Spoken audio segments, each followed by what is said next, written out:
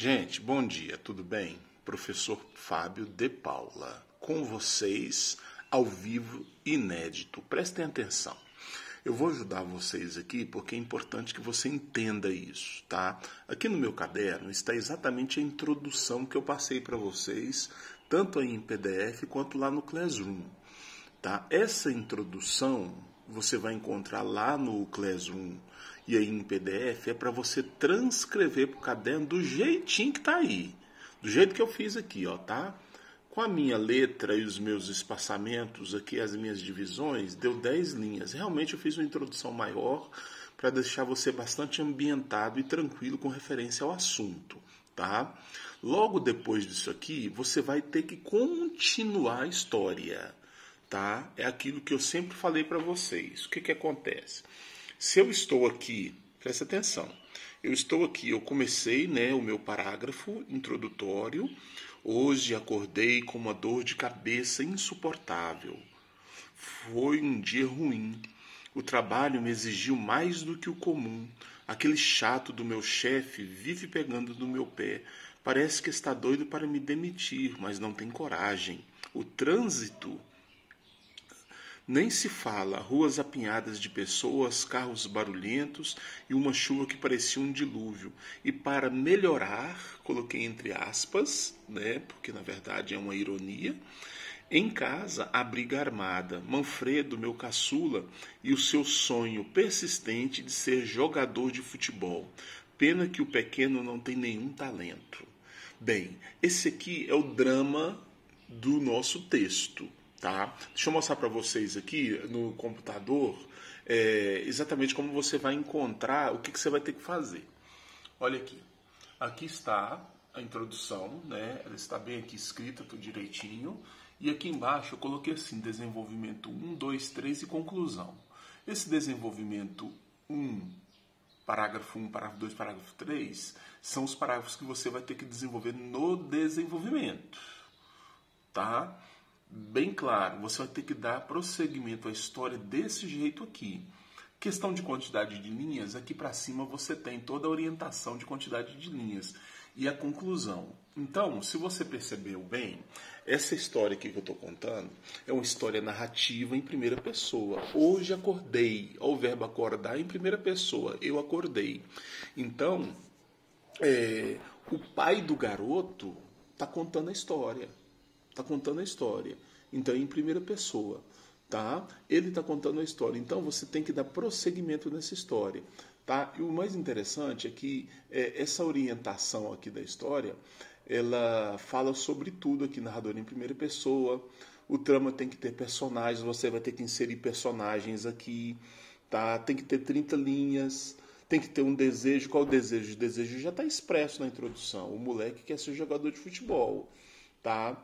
Tem que ter um conflito. Qual conflito? Conflito é uma briga, é algo, é alguém contra alguém.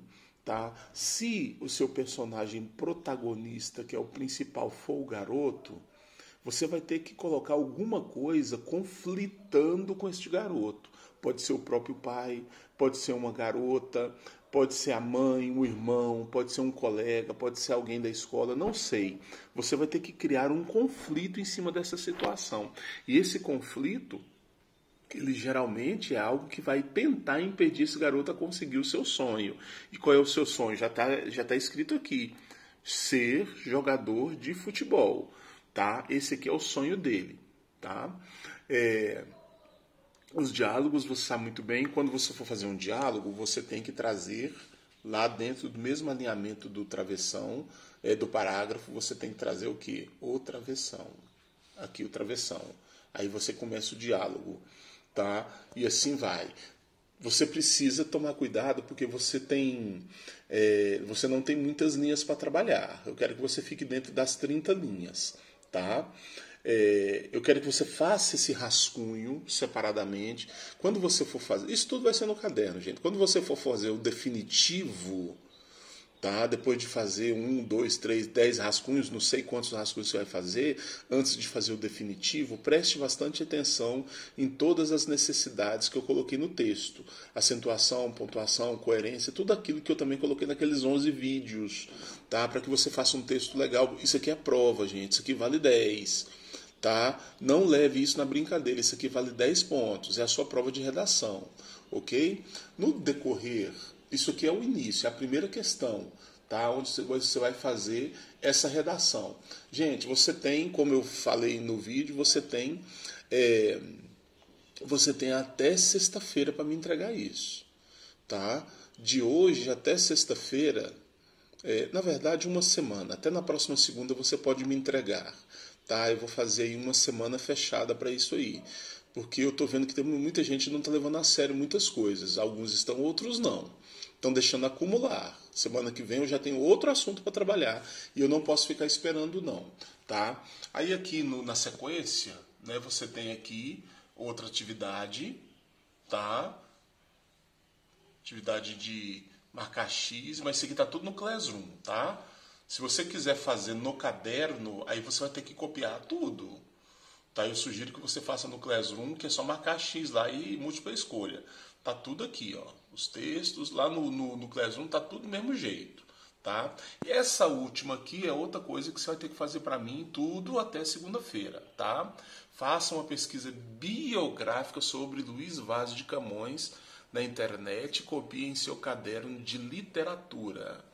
Para os alunos que estão é, fazendo aula online, tirar foto e enviar no e-mail do professor, tal tá e-mail aí. Identifique assim a atividade, nome completo, biografia de Luiz Vaz de Camões e turma.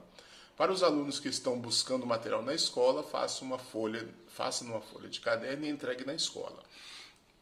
Bem, é, eu quero que você se atente para isso, tá? É, outra coisa, hum, faça exatamente do jeito que eu estou pedindo, por favor. Tá? Tem pessoas que a gente fala uma coisa, pede uma coisa, deixa bem claro a forma de fazer, tá? E a pessoa faz do jeito que ela quer fazer. Eu não vou admitir isso. Eu não quero do jeito que você quer fazer.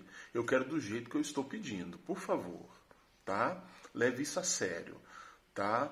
Eu, não, eu sugiro que você que está online não faça essas questões aqui que são só de múltipla escolha no caderno e depois tire foto e mande para mim. Você pode criar uma confusão tanto para você quanto para mim. Responda lá. Tá? Responda lá no Classroom. Se por acaso você não tiver condições de responder no Classroom essas perguntas, você vai ter que copiá-las no caderno e aí você faz a mesma identificação. Questões, né? Questões, né? Atividades né? sobre descrição ou é, na verdade não é descrição. Essas atividades aqui, elas são sobre interpretação de texto. Aí você faz a identificação, nome completo, atividade sobre interpretação de texto, turma tudo direitinho e manda no e-mail também. Gente, por que, que eu estou pedindo para mandar no e-mail? Ah, tem gente que fica, ah, não estou conseguindo mandar no e-mail. Por favor, é um pequeno esforço seu. Não há celular que aguente isso. É tão simples isso, gente. Todo mundo tem e-mail. Tá daí mesmo que você fizer tirar foto, manda no e-mail, por favor. Tá? Vira uma confusão, tem gente que fala que não consegue mandar no e-mail, tá? Aí fica mandando no zap, tem manda de outra forma, por gentileza, tá? Eu vou esperar que vocês sejam diligentes com referência a isso. Por favor. E, e vou pedir que assistam o vídeo todo, né, pelo menos, né? E qualquer coisa me falem, por favor. Conversem comigo. Se não quiser conversar no grupo, converse no privado, tá bom? Eu vou dar atenção para vocês. Grande abraço, fiquem com Deus.